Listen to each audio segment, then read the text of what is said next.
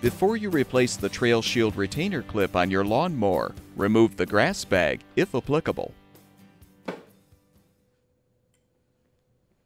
Use pliers to secure the end of the Trail Shield shaft and a hacksaw to cut off the crimped end of the shaft.